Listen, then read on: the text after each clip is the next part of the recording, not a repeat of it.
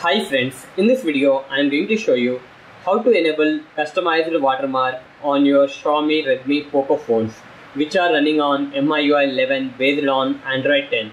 Here is my Poco F1 which is running on Android 10.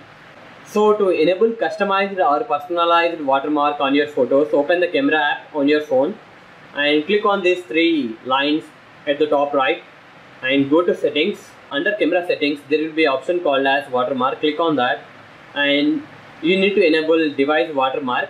Below device watermark there is option called as custom watermark. Click on that. Uh, previously when I enable device watermark automatically shot on Poco F1 used to come. Now here you can see that it is giving custom. I'm going to type as now I have given the custom watermark. Click on save. Now let's open the camera app and let's take a sample photo Here you can see the watermark Poco. Below that I have given the custom watermark Naiwik Tech. You can give it as shot by Naiwik Tech or something similar.